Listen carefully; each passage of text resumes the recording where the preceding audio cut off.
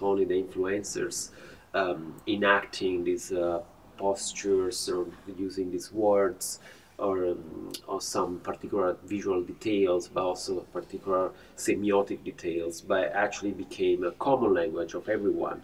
And today we have these mediums that, um, these social media, that uh, affect uh, our identities and our languages as well.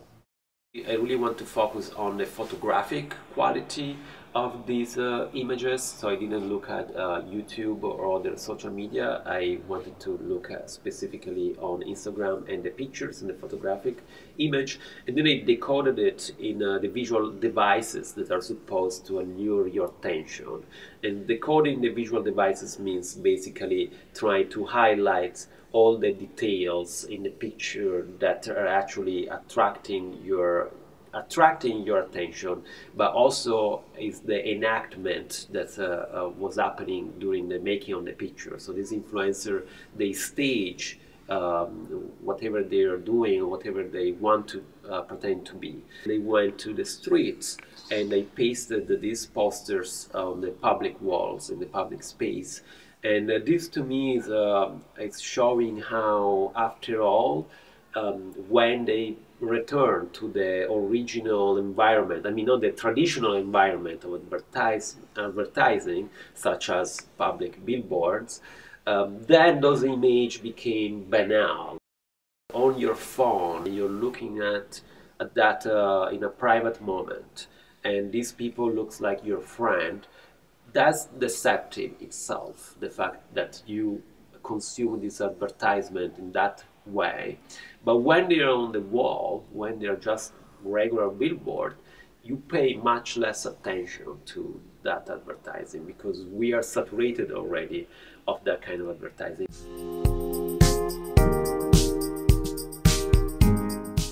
Ethics is not an opinion. Some people get confused about this stuff. You know, sometimes we say, "Oh, it's my own ethics." Yes, everyone can have their own ethics, but actually, ethics in other fields like uh, you know in medicine or, um, or like also environmental issues you know those are not opinions. Those those are decisions. They're ethical questions that need to be resolved. And if you answer wrong to uh, to to some of those ethical questions some people might die. So that's why it become a specific science science science. And that's why in internet also ethics uh, of technology is not just an opinion or you know uh, an academic exercise, but actually it be, needs to become a serious matter and needs to become a law and become a regulation, and that's like a political process. And um, that, uh, to me, goes along in a way with uh, fake news and in general with uh, content moderation. That's a very complex issue, and they also done other projects about content moderation online. And so in this case, um, you know, there are, you know, hate speech can be very dangerous as well on the internet. In this case, uh, influencers uh, promote uh, products that can be also very dangerous.